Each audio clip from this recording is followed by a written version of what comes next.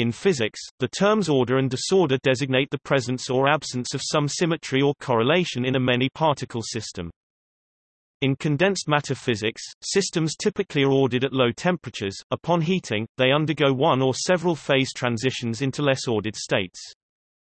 Examples for such an order-disorder transition are the melting of ice, solid-liquid transition, loss of crystalline order, the demagnetization of iron by heating above the Curie temperature, ferromagnetic-paramagnetic transition, loss of magnetic order, the degree of freedom that is ordered or disordered can be translational crystalline ordering, rotational ferroelectric ordering, or a spin state magnetic ordering.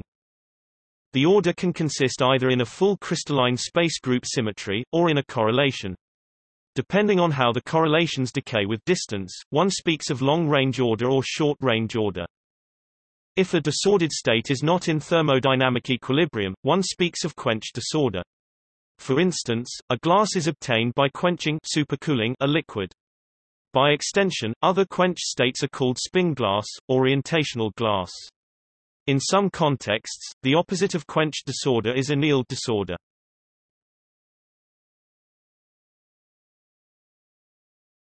Topic: Characterizing order.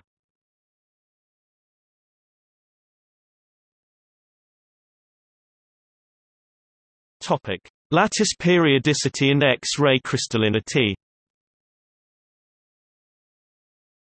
The strictest form of order in a solid is lattice periodicity. A certain pattern, the arrangement of atoms in a unit cell, is repeated again and again to form a translationally invariant tiling of space. This is the defining property of a crystal. Possible symmetries have been classified in 14 Bravais lattices and 230 space groups.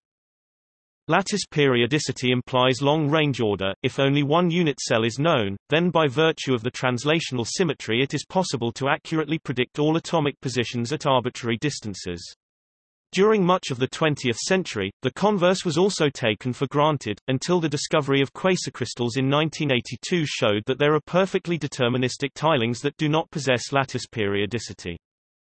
Besides structural order, one may consider charge ordering, spin ordering, magnetic ordering, and compositional ordering. Magnetic ordering is observable in neutron diffraction.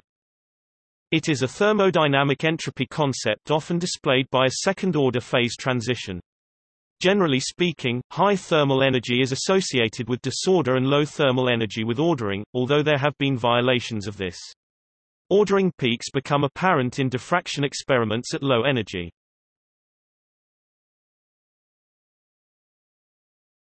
Topic: Long-range order. Long-range order characterizes physical systems in which remote portions of the same sample exhibit correlated behavior.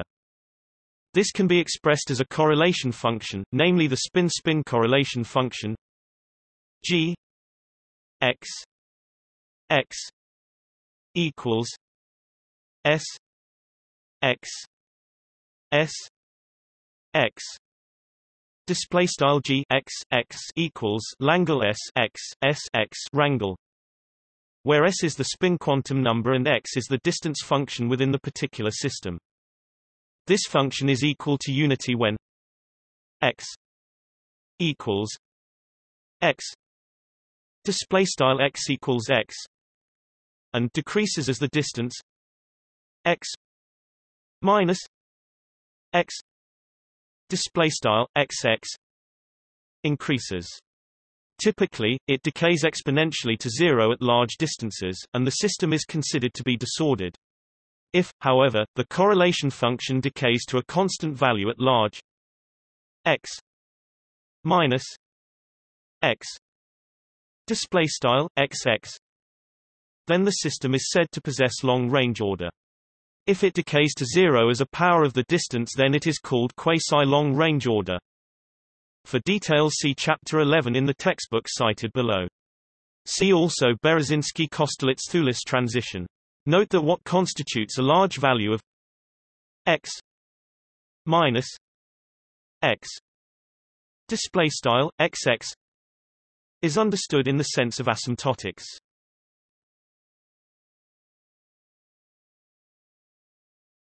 Topic: Quenched disorder.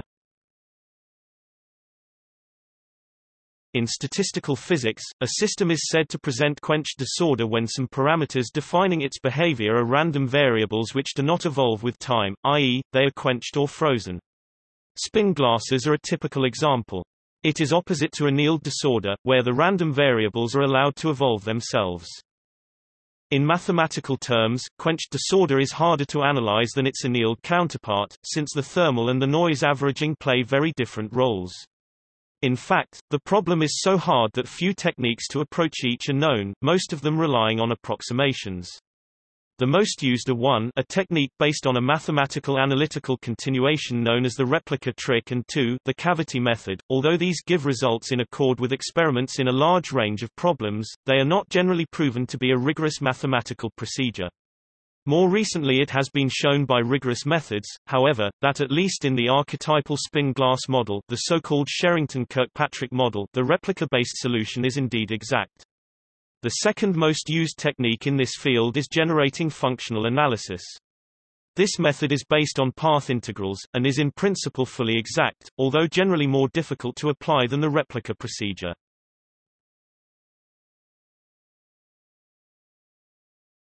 Topic. Annealed disorder A system is said to present annealed disorder when some parameters entering its definition are random variables, but whose evolution is related to that of the degrees of freedom defining the system.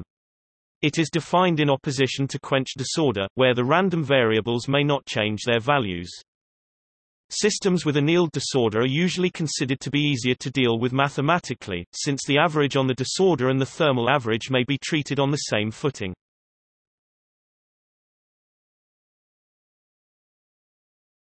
Topic. See also In high-energy physics, the formation of the chiral condensate in quantum chromodynamics is an ordering transition, it is discussed in terms of superselection. Entropy Topological order Impurity Superstructure physics Topic. Further reading H. Kleinert, Gauge Fields in Condensed Matter ISBN 9971-5-0210-0, 2 volumes Singapore, World Scientific 1989.